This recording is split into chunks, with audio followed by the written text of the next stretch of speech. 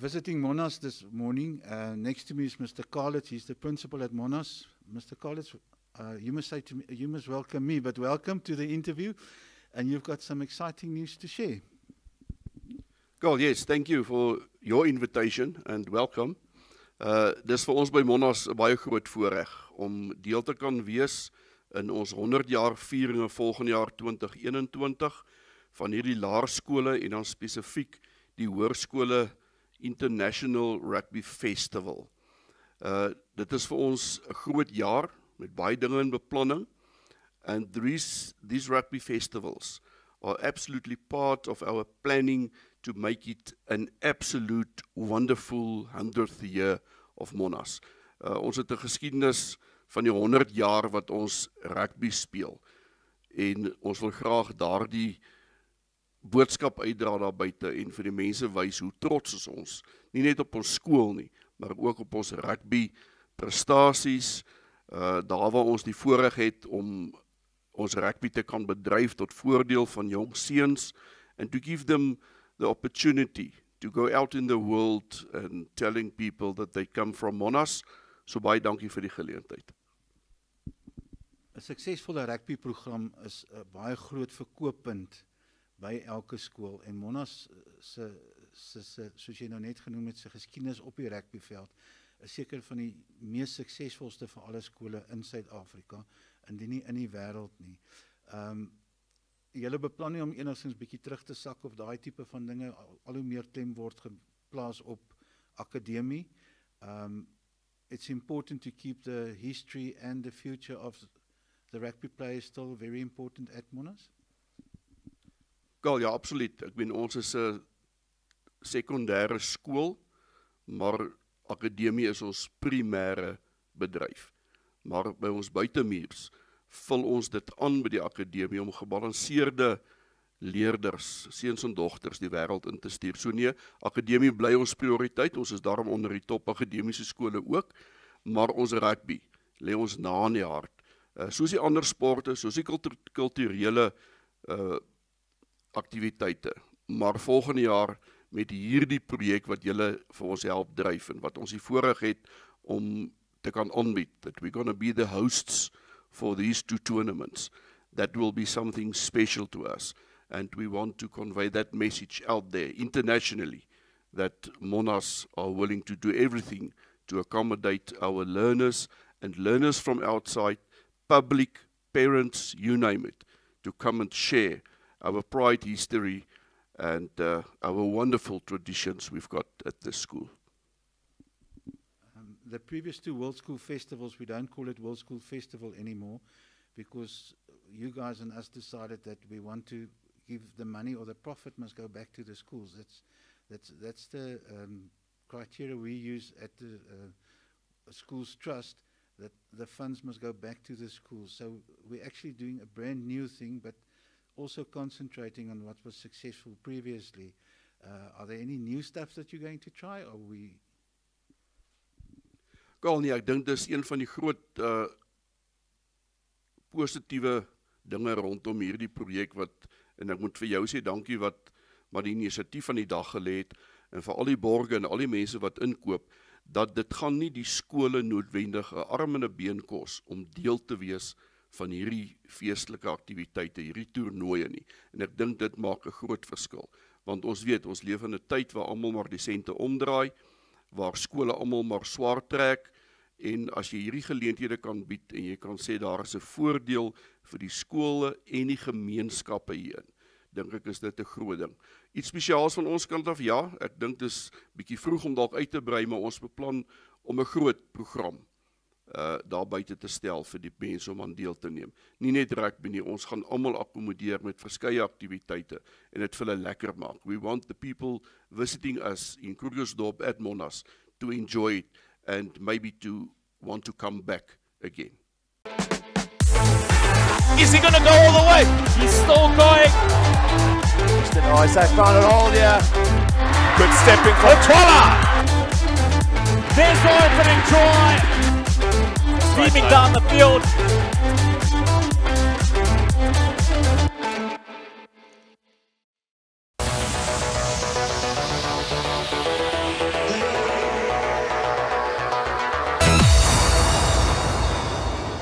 Ons volgende gas is meneer Bart Skooman. Hy is die uh voorsitter van die Suid-Afrikaanse Skole Trust. Ehm um, Bart, welkom. Dankie Kal. sien uit na die die die pad en die beplanning wat voor lê. Um, ek dink ons het 'n paar uh, exciting aankondigings wat uh, wat wag. Hoekom die betrokkeheid by Monna se 100ste verjaarsdag? Wat wat s'ie wat s'ie doel daar agter vir die trust? Ja, dalk net 'n uh, vinnige uh, agtergrond oor die die nasionale skole trust. Ehm um, is eintlik gebore uit uh onder andere jou inisiatief kal um van Raga se kant af. Uh wat die loodsing van 'n nuwe nasionale skole reeks uh as as as doel het um uh wat ook nog in die toekoms lê. En wat my opgewonde maak is uit die aard van die saak die feit dat ons nou die um die internasionale skole toernooi oor dieselfde boeg kan gooi. Uh die trust het ten doel om uh skole rugby in Suid-Afrika te dien. Ehm um, en uh sonder om in die detail daaroor uh te verval, ehm um, gaan die die uh die dien van skole rugby in Suid-Afrika oor die verbreding van die basis van skole rugby uh op afrigtingsvlak sowel as geleenthede vir skoolkinders. So dit het definitief nie ten doel om elitisme te bevorder nie maar meer 'n uh, kwessie van om die topskole in Suid-Afrika te gebruik om 'n platform te skep vir ontwikkeling en vooruitgang van skole rugby in Suid-Afrika. Ons almal weet dat kontrakmodelle uh op 'n uh, professionele vlak op hierdie stadium uh baie verander uh en uh dit is vir ons belangrik om seker te maak dat ons kinders geleenthede op uh, op ander vlakke ook kry. Ons baseer die die die die 100ste verjaarsdag van Monas baie op die World School Festivals en daai goeters. Wat's die grootste verskil op die klem wat julle lê? Waar lê julle die grootste klem wat baie duidelik verskil van die World School Festivals se organiseerders? Call for the benefit of our um uh our viewers um uh, abroad as well because um it uh it, it is affecting um, the international school side um, to a large extent is that um, we still want to keep alive the fact that we have a strong competition format between the best schools in South Africa versus the best possible schools that we can get from abroad, from especially our rugby tradition, uh, traditional strong countries, um, from the UK, from, from New Zealand, etc.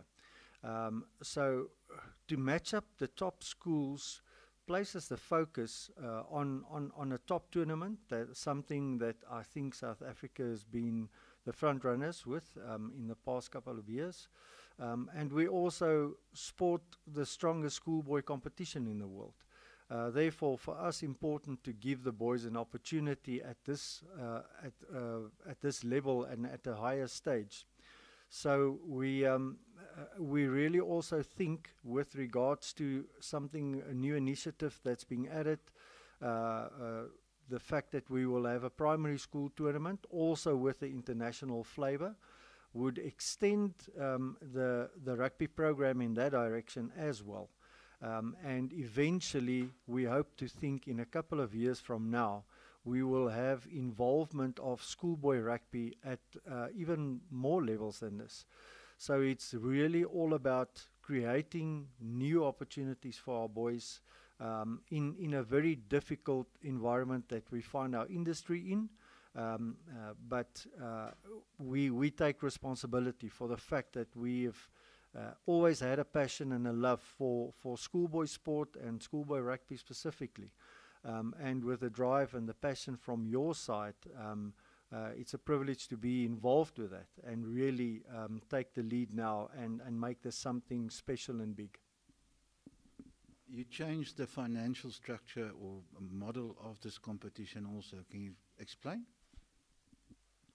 Yes, I think um, the, the, the great um, drive has always been that the school's exposure and uh, whatever income is created from the tournament um, different from what it probably was in the past, is that it is schoolboy rugby for the sake of the schools and the players of uh, of these schools.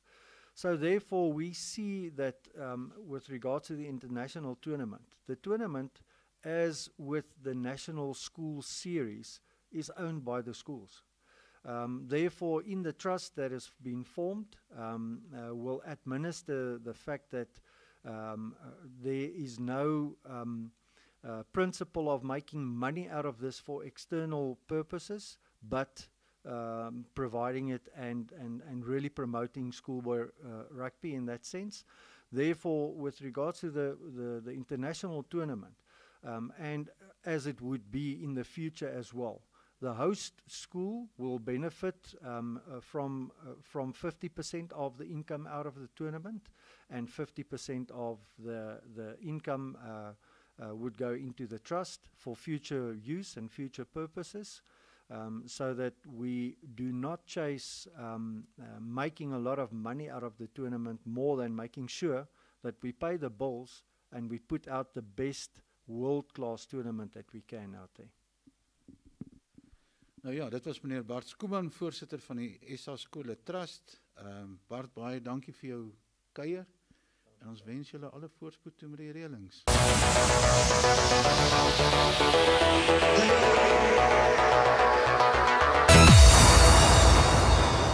Ons volgende gas is meneer Chart van der Walt. Hy is die hoof van rugby hier by Monas en obviously gaan hy die voorloper wees van die reëlingskomitee en die toernooi en daai tipe van dinge.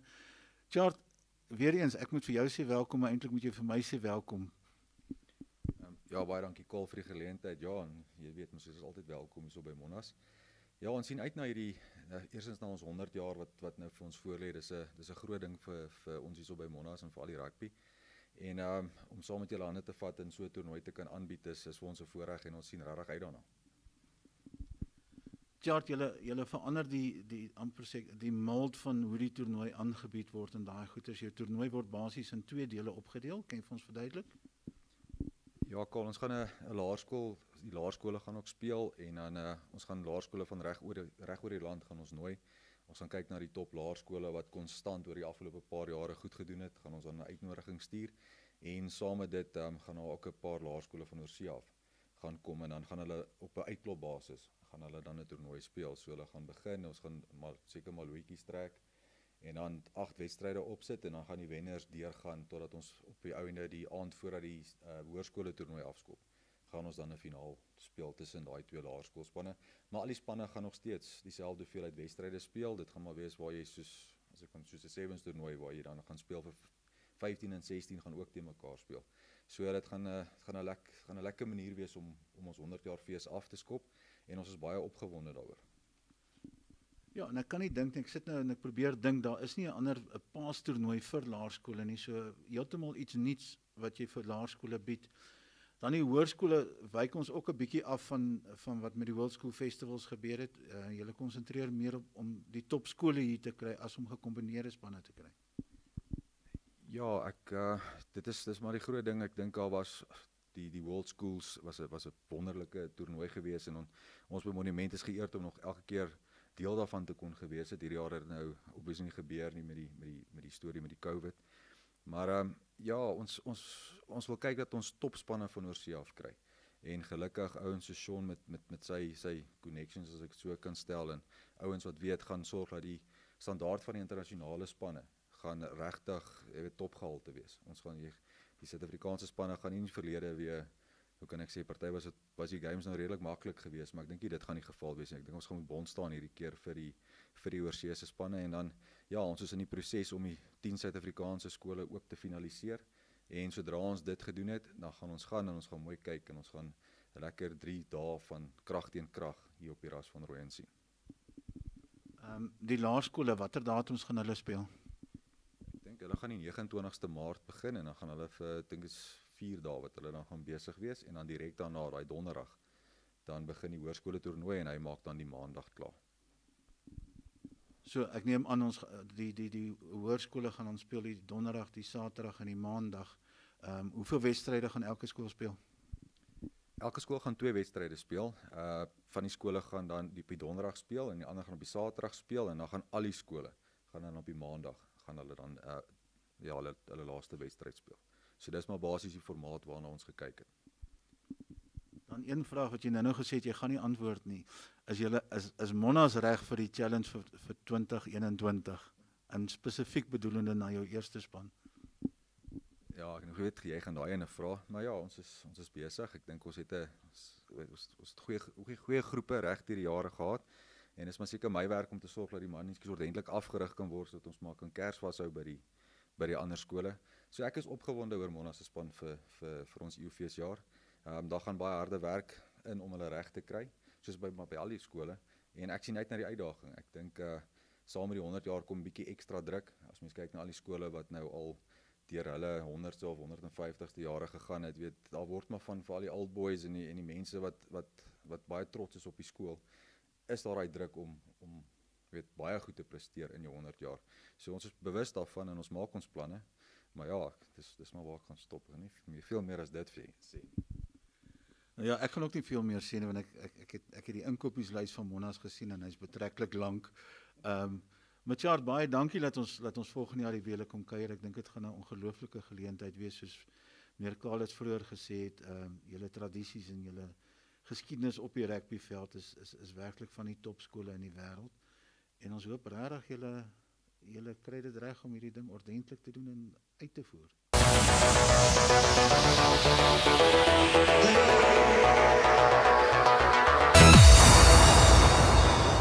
My next guest, if I may, Sean, I can call you the father of the International Schools Challenge, or whatever name you want to name it.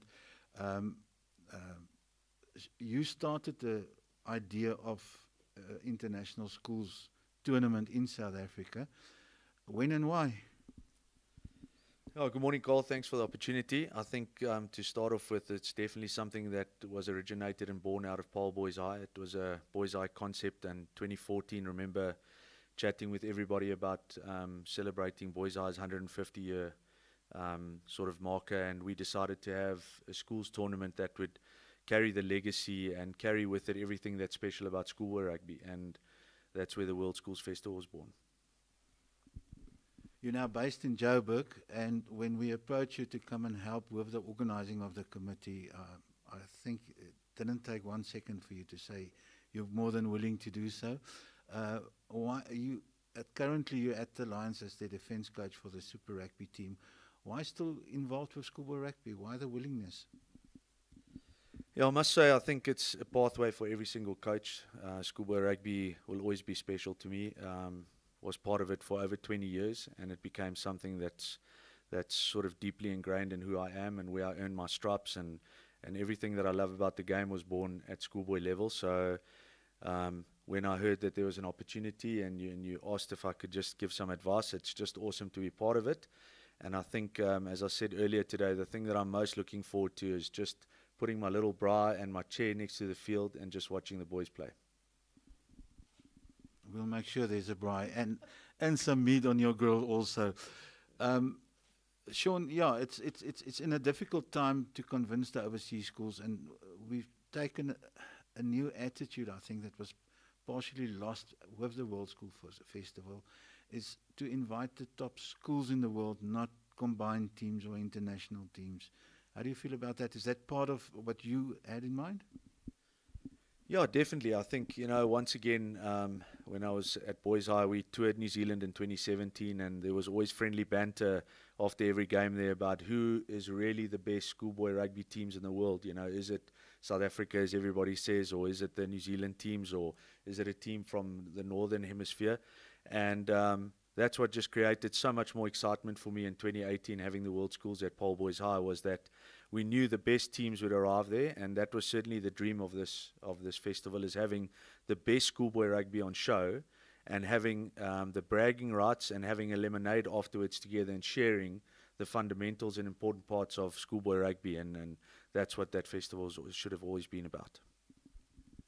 You are supposed to go back to the Pole sooner or later, um, visiting or going, moving back there. How are you going to defend yourself by helping to organize the best schoolboy tour international tournament up to date? Yeah, I think um, the guys in Paul and everybody that loves rugby is are purists, schoolboy rugby purists, and I think for them it'll always just be about getting the show on the road and and having the opportunity to come and watch schoolboy rugby. So I, I can't see anybody being angry about hearing that the that that the the schools festival is going strong, and that there's going to be some exciting rugby coming up. Well, yeah, I think if there was one guy that's really important in the success of the tournament with his knowledge, uh, having organized it before, is Mr. Erasmus. Sean, thank you so much for your willingness. Um, like you said, you were always part of schoolboy rugby, and yeah, thank you for what you're going to do for us. Thank you very much, Carl, and I'm excited. Can't wait.